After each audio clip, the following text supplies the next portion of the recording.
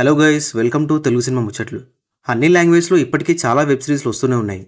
కానీ ఈ విషయంలో మలయాళం ఇండస్ట్రీ కొంచెం వెనకబడిందని చెప్పాలి. లాస్ట్ వన్ ఇయర్ నుంచే వెబ్ సిరీస్లో రావడం స్టార్ట్ అయ్యాయి మలయాళంలో. అలా జై మహేంద్రన్ అనే వెబ్ సిరీస్ వచ్చింది. ఈ సిరీస్ సోనీ లీవ్లో స్ట్రీమ్ అవుతుంది. తెలుగులో కూడా ఉంది. మరి ఇంకా లేట్ చేయకుండా ఈ సిరీస్ ఎలా ఉందో రివ్యూలో చూద్దాం. బేసిక్ స్టోరీ ఏంటంటే మహేంద్రన్ డిప్యూటీ తహసీల్దార్గా వర్క్ చేస్తూ ఉంటాడు. కానీ తన పవర్ని పర్సనల్ గోల్స్ కోసం ఎక్కువగా వాడుకుంటూ ఉంటాడు. అండ్ ప్రజెంట్ పవర్లో ఉన్న పార్టీలో యూనియన్ మెంబర్ కూడా. సో కాంటాక్ట్స్ కొంచెం ఎక్కువే. ఇంకేముంది? ఏ ఫైల్లో సంతకం కావాలన్నా మాట్లాడి సెటిల్ చేస్తూ ఉంటాడు. అయితే ఒకరోజు శోభ అనే కొత్త తహసీల్దార్ రావడంతో మహేంద్రన్కి బ్రేక్ పడుతుంది. అంతేకాకుండా ఇంకా పెద్ద ప్రాబ్లంలో ఇరుక్కుంటాడు అసలు ఏంటి ఆ ప్రాబ్లం అనేది సిరీస్లో చూడాలి. మలయాళం నుంచి ఏదైనా మూవీ కానీ సిరీస్ కానీ వస్తుందంటే కొంచెం ఎక్సైటింగ్గా ఉంటుంది. ఎందుకంటే కంటెంట్ బాగుంటుందని.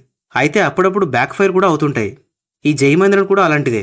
సిరీస్ అయితే అంతేం లేదు. జస్ట్ ఓకే సిరీస్ అంతే. పాయింట్ బాగుంది. చాలా సింపుల్గా. మామూలుగా క్రైమ్ ఫ్యామిలీ డ్రామా వెబ్ సిరీస్లు ఎక్కువగా వస్తుంటాయి. సో ఈ పొలిటికల్ కామెడీ బ్యాక్డ్రాప్ అవడం వల్ల జై కొంచెం రిఫ్రెషింగ్ అనిపిస్తుంది. ఫస్ట్ ఎపిసోడ్లో మెయిన్ క్యారెక్టర్ని ఇంట్రడ్యూస్ చేయడం రెవెన్యూ ఆఫీస్లో ప్రిమైజ్ మంచి సిచ్యువేషన్ హ్యూమర్తో అలా సరదాగా బోర్ కొట్టకుండా వెళ్తుంది. సెకండ్ ఎపిసోడ్ కూడా అంతే. స్టోరీలో పెద్దగా ప్రోగ్రెస్ ఏమి ఉండదు.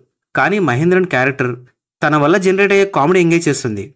అయితే సెకండ్ ఎపిసోడ్ చూస్తున్నప్పుడు అనిపించింది ఇంత సింపుల్గా లైట్ హార్టెడ్ నరేషన్తో వెళ్తుంది అసలు కాన్ఫ్లిక్ట్ ఏముంటుందని. థర్డ్ ఎపిసోడ్లో కాన్ఫ్లిక్ట్ వస్తుంది. కానీ ఆ కాన్ఫ్లిక్ట్ ఏదైతే ఉందో అంత ఇంట్రెస్ట్ని క్రియేట్ చేయలేదు. అండ్ దాని తర్వాత వచ్చే ప్రొసీడింగ్స్ అంతా చాలా ల్యాగ్ అనిపించడమే కాకుండా ఉన్న ఇంట్రెస్ట్ కూడా పోయింది. చిన్న కాన్ఫ్లిక్ట్ని పెట్టి మిగతా మూడు ఎపిసోడ్లు రబ్బర్ సాగదీసినట్టు సాగదీశారు. స్టోరీలో ఏం ప్రోగ్రెస్ లేకుండానే ఫస్ట్ రెండు ఎపిసోడ్లు ఎంగేజింగ్ అనిపించాయి.